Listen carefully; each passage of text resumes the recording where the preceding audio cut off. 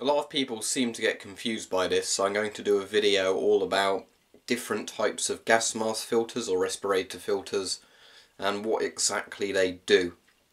So firstly, I'm sure all of you have heard of NBC or CBRN filters, that's nuclear biological chemical or chemical biological radiological nuclear and they're the military filters but not all of them are the same and this is the problem. It's the reason I don't particularly like to use the term NBC filters anymore since my understanding of filters has got a bit better because most NBC filters obviously designed to stop nuclear radiation getting into the mask in the form of alpha radiation, biological uh, weapons which are stopped by the particulate filter and the chemical weapons are stopped by partly the particulate filter but mostly the activated carbon inside which is then impregnated with other materials to make it work against more chemical types.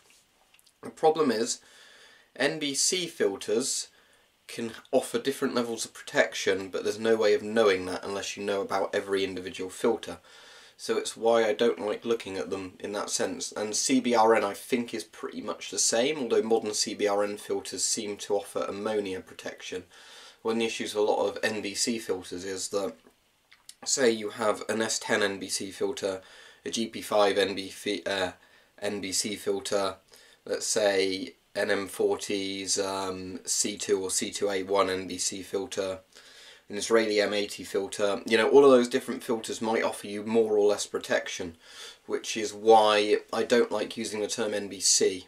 It's, uh, I think the actual ABEK kind of um, style industrial system works a lot better because the letters that the filter has on it tell you what the protection it offers are. So anyway, let's start beginning. First we're going to look at particulate filters which are the most simple. Now I haven't done a video on this yet but I will. I got this 3M mask the other day that's quite good. It is a 3M 7502 so 7500 series um, and it's got at the moment just light little particulate filters on so let's disattach one of those. There we go. So this is just a particulate filter and you'll see on there it says P3 somewhere. Yep, there, P3. So that means it's particulate level 3 protection and with particulate filters you get P1, P2, P3. P3 is the best of the ones. With all of these things, the higher the number the better when it comes to filters. It means that they work, if there's more of a contaminant in the air, they work more efficiently and the smaller the contaminant they stop it. So P1 compared to P3, P3 can stop smaller particles in higher concentrations. If you're buying any filter and you have similar priced options, always go for the better protective one, but for particulates, always go for P3. Simply because there's a surprisingly large amount of stuff that P1 will not block, and there's a couple of things that P2 can't block that P3 can, which you really think for the extra one or two pounds it takes to get a P3 filter, just get the P3. Um, but an actual particulate filter looks like that. Now hopefully that's visible on the camera, but it's just kind of paper or fiberglass or anything else that's made in a certain kind of ridge pattern which blocks basically particles getting through. Now P3 is very good because it can block asbestos and um, like microscopic type sort of dust particles. So just put this back on the mask. The 3M ones have a bayonet filter which is quite good although I prefer 40mm screw. So that's your P protection, it's particulates, it's very straightforward, P for particulate and level 1 to 3 protection, level 3 being the best, so that makes sense. Now we have industrial type markings and this is an ABE filter, I thought it was an ABEK but I checked it carefully and it's actually not. So you can see here, if I get it in frame, that it says AB2, so that's a protection 2, B protection 2, E protection 1, no K protection but P3, so particulate level 3. So, what are each of these things? So, A is organic gases, uh, or organic vapours, and that's lots and lots of in normal industrial kind of things. Things like paint stripper, petrol fumes, Mo if you fart, that would be an organic vapour. Um, most things that you look at are classified as organic vapours in normal kind of industrial terms. Not when it comes to chemical weapons, but when it comes to, you know, any sort of industrial thing that gives off a strong odour and could make you nauseous or you know blackout anything like that. That's normally A, so organic vapours. Then you have B, that is inorganic vapours, and that's where chlorine and lots of World War One chemicals came in. So I'm not a scientist, I can't tell you how inorganic varies from organic. I guess they're synthesized in a different way. And obviously some filters offer A protection, not B protection.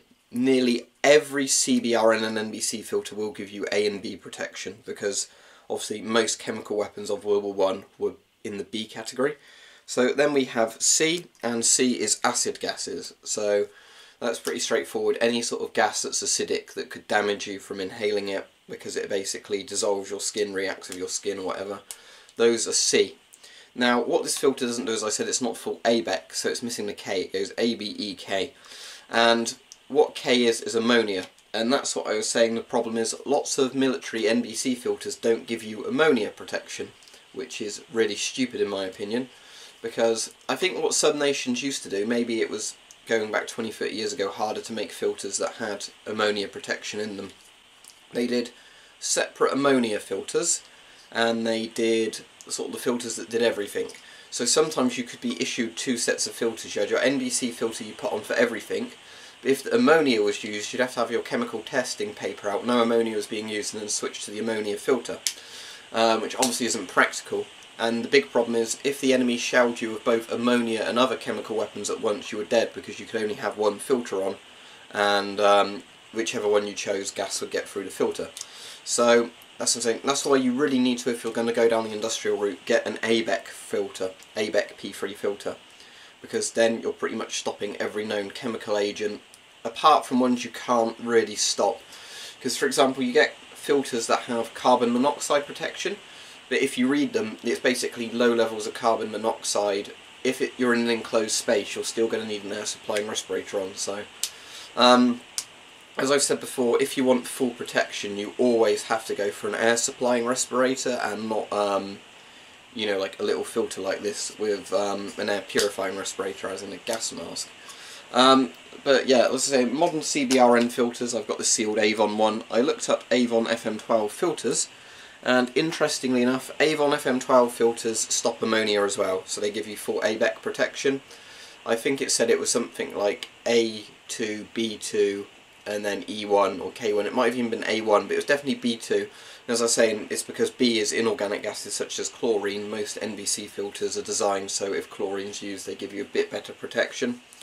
Uh, as I was saying, 2 is better than a 1, but in a lot of filters you'll find they're either 1 or 2, often mixed, I guess due to pricing and size of the filter. Um, you'll notice if you look for filters online, when you look at industrial ABEK filters, the more things they stop, so for example an AB filter is relatively small, an ABE filter gets a bit bigger, an ABK filter gets bigger again. It's generally because they have a different layer in them for each of the, the um, sort of filter mediums. So an ABEK P3 filter, if you get a full industrial one, can actually be quite chunky, even though this is actually an ABEK P3 filter and relatively small. I'm guessing it's, yeah, like the exact same size as another 40mm filter. It's, um, you know, the industrial ones tend to get quite large, but then they'd last longer as well. On Amazon for about £20, I think you can buy Scott uh, ABEK P3 filters, which are more like industrial type ones that look like they'd actually work better with a hose rather than being like this big chunky filter on a mask. But very interesting. I've also seen, but um, I'm going to hold off buying one for now, but I might get one at some point. You can get sealed Avon filters from, I think it was a seller on Amazon, but there was postage charges. It was like some prepping place, but they had photos and they said all the filters are dated until 2023, 2024. They're sealed in like plastic cases with the filter inside that plastic case.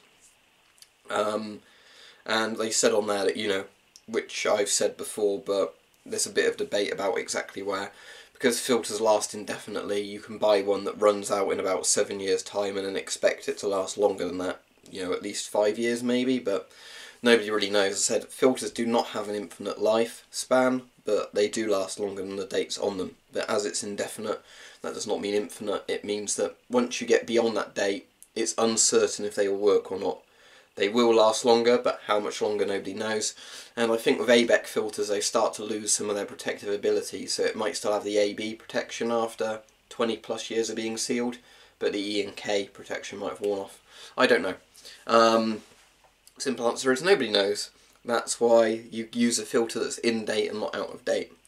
So, as said, you have P123, always get a P3. Most NBC filters and CBRN filters are always P3.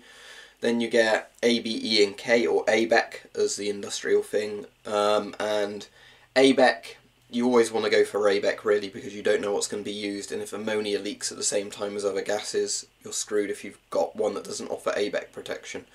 So always go for ABEK with a P3 on it.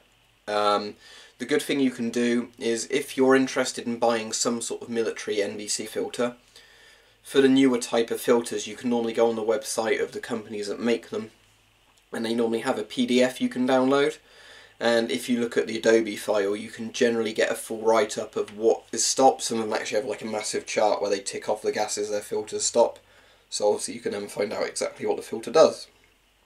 But as said, I would always personally go for an ABEK P3 style filter rather than NBC CBRN ideally because they tell you on the side of the filter what it does with its lettering system.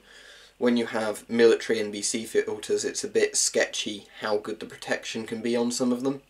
So that's why um, I would ideally say, you know, go for either an ABEK P3 filter for all practical uses for a civilian.